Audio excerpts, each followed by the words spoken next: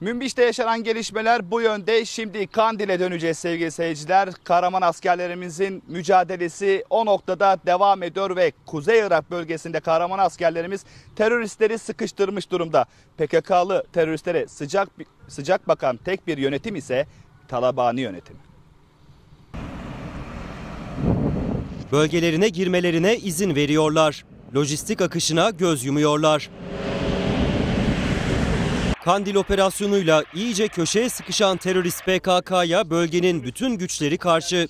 Ancak Talabani yönetimi duruma seyirci. Hatta bir anlamda destekçi. Bulunduğumuz noktanın alt tarafı Talabani bölgesi. Talabani bölgesi işte bu logonun PKK'lı teröristlere ait logonun başladığı noktada son buluyor ve ardından burada kontrol noktaları da vardı. Ancak operasyonların ardından Türk Silahlı Kuvvetleri'nin Kandil operasyonlarının ardından PKK'lı teröristler destek için buradaki kontrol noktalarını boşalttılar. Daha çok devriye şeklinde geziyorlar.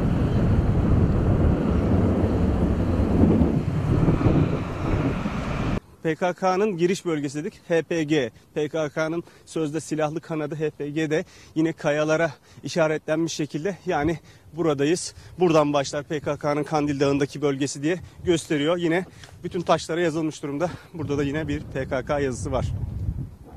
Köşeye sıkışan teröristler Talabani bölgesine rahatlıkla girebiliyor.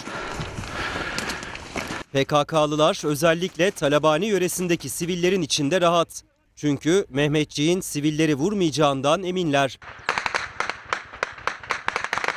Teröristlerle Talabani'nin ilişkisi geçmişe dayanıyor. PKK'lılar geçen yıl hayatını kaybeden Celal Talabani'yi Mam Celal yani Celal amca diye anıyordu. Celal Talabani Irak'ın Cumhurbaşkanlığını da yaptı. Talabani 2007 yılında PKK'nın lider kadrosunu isteyen Türkiye'ye bir Kürt kedisi bile vermeyiz demek üstahlığını göstermişti.